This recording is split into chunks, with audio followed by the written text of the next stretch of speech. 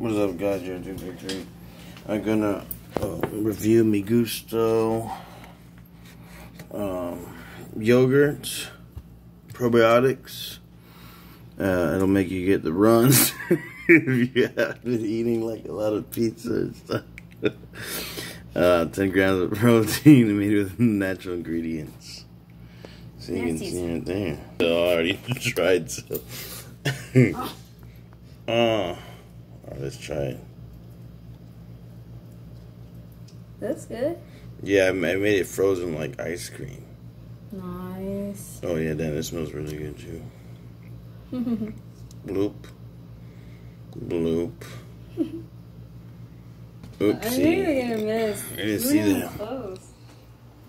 Let me see the ingredients. Mmm. So good. Hold on, let me see.